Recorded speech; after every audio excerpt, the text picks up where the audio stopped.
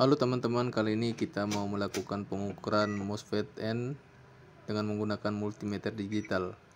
Jadi pertama-tama kita nyalakan multimeter ke skala diode. Kemudian dari kaki drain ke source kita menggunakan pin negatif dan positif. Nah, dia mengeluarkan nilai. Kemudian kita pindahkan kaki positif multimeter ke kaki gate. Dia tidak mengeluarkan nilai dan kita balik dari kaki gate menggunakan pin negatif dan drain menggunakan pin positif. Kemudian pin positif ke source dia tidak mengeluarkan nilai artinya MOSFET ini normal. Kemudian kita lakukan langkah seperti biasa pengukuran pada MOSFET tipe N pada MOSFET yang tidak normal ini.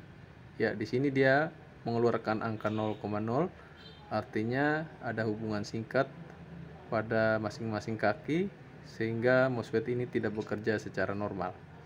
Oke, demikian tutorial dari saya. Tetap ikuti tutorial-tutorial saya selanjutnya.